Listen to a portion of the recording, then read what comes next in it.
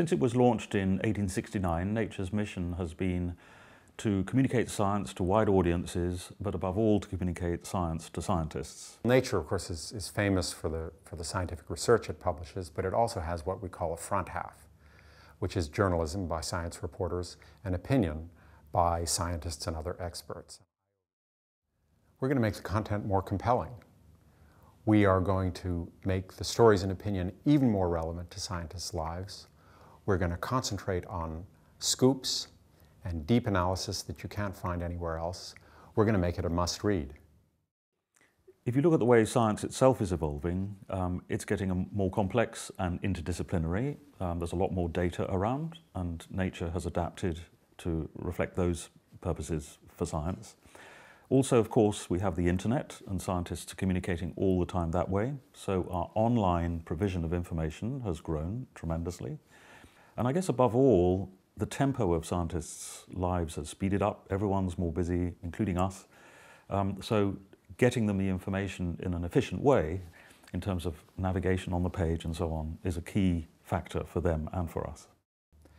So for busy readers, we present, for example, an entire spread of news snippets that give you essentially the week's most important news at a glance. We've redesigned the way we present longer stories so that it's completely clear from the head and the stand first, or the deck as Americans call it, what the story is about, so you can make a snap judgment about how deep into the story you want to get. But also there are changes we've made in just in terms of the journalists that we've taken on. We've really tried to make the journalists as strong as possible in uncovering news in interesting ways, so that the news we publish isn't just a regurgitation of events, that more often we're actually uncovering things that are happening for ourselves. We've re-emphasized the need for reporters to, to really go deep into their beats, from the bench all the way up to the policy decisions that affect funding and, and the direction of science. So the reporters go very deep, and at the same time we have this community of journalists and editors who are interested in many different disciplines and talk all the time, creating this incredible ferment that allows us to make connections, to create packages, to play opinion pieces off news pieces, to basically make an organic magazine out of all these specialties.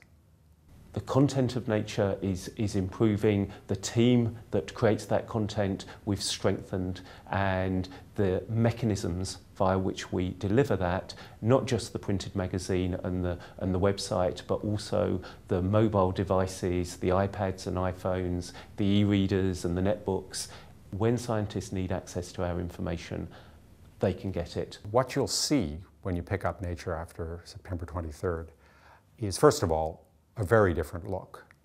Uh, it's been redes redesigned from stem to stern. One goal of this redesign is to make it easier to navigate. The first section of the redesigned Nature presents news and opinion that really is relevant to what's happened over the past seven days.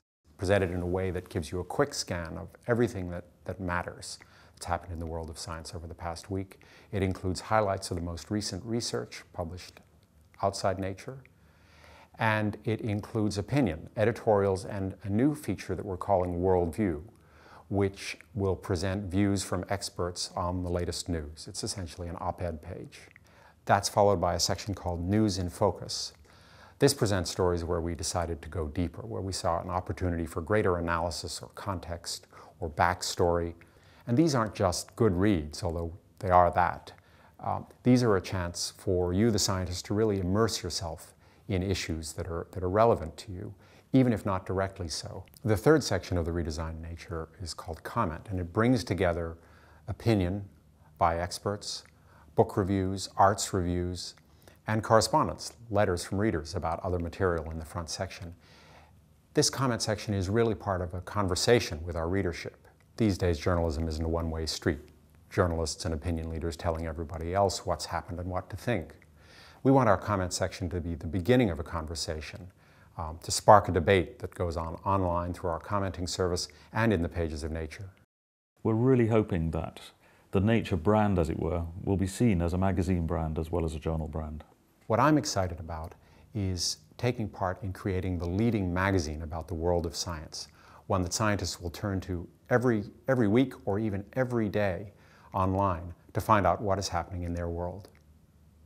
the changes that we're um, uh, launching now are really important, uh, but they're only uh, one step in a much longer uh, journey.